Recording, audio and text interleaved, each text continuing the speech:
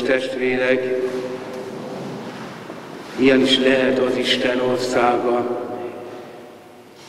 Bizonyára sokszor gondolkozunk rajta mi is, hogy milyen lehet. Ha arra gondolunk, hogy az Isten országa, a mennyország, hogy az az élet, amely az Isten közelében van. Hogy oda jut az ember a földi élete után, és a jó Isten a jobbjára állítja a földi életéért, megjutalmazza, amit egynek tettetek, nekem tettétek.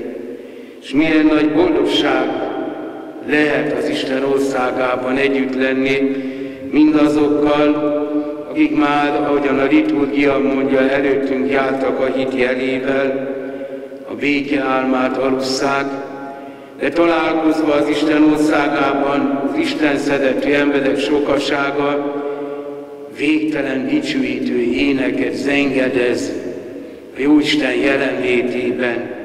Nem csupán egyedül, nem csupán maguk, hanem az angyalok seregeivel együtt, és ez tölti be az embernek a teljes valóságát, életét. Mennyire vágyakozunk is erre az Isten országára.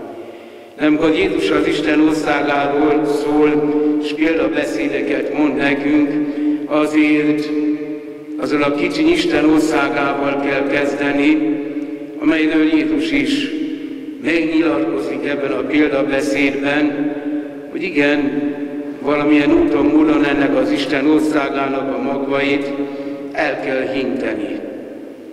Jézus ezért jött a földre, hogy elhintse az Isten országának a magvait. Követték, mellette voltak, ember így még soha nem szólt, nem beszélt, és milyen nagyszerű dolog az, aki hozzá közel férkészhetett, és megérthetett valamit abból a végtelen szeretet kiáradásából, amely hozzá kötötte Jézushoz, és amelyen egy új életet tudott elkezdeni. De mennyire igaz az is, amit ebben a példabeszédben elmond az elvetett magról, hogy jön a sötétségül a világosság, a mag önmagától majd ki kell szádba szökken és termést hoz. Önmagától termést hoz.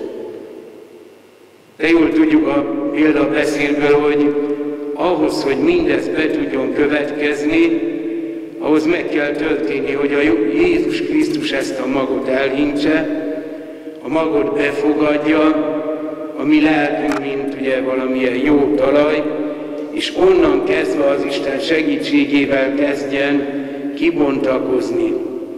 Délután beszélgettem valakivel, és mondta, hogy ilyen nagyszerű dolog azt mondja ezeknek az ég madarainak, meg mindennek, amit körülvesz bennünket, és ugye benne van a példabeszéd, amit Jézus mond, hogy nem vetnek, nem adatnak, csűrökbe nem gyűjtenek, a mennyei atya gondoskodik róluk. Hát igen, az Isten országáról a mennyei atya gondoskodik, és rólunk is ő gondoskodik, hogy bennünk gyökeret tudjon verni az Isten országa. Ez az ő segítsége nélkül, ami abban nem történhet semmi.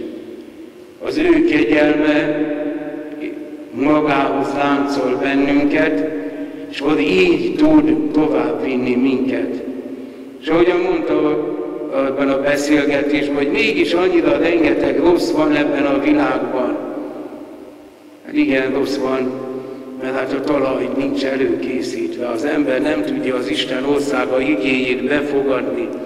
És azt szeretni, hogy ez az összevisszaság, amely körülvesz bennünket, a mai világban, ez még inkább erőt vegyen, és győzedelmeskedjen, hogy majd hallani fogjuk a későbbiekben, hogy igen, belehintik a konkolyt, belehintik a gyomot, majd ki fog kelni, és elnyomja, ahogyan a úrszélre esett, a jó földbe esett magról is majd hallani fogjuk.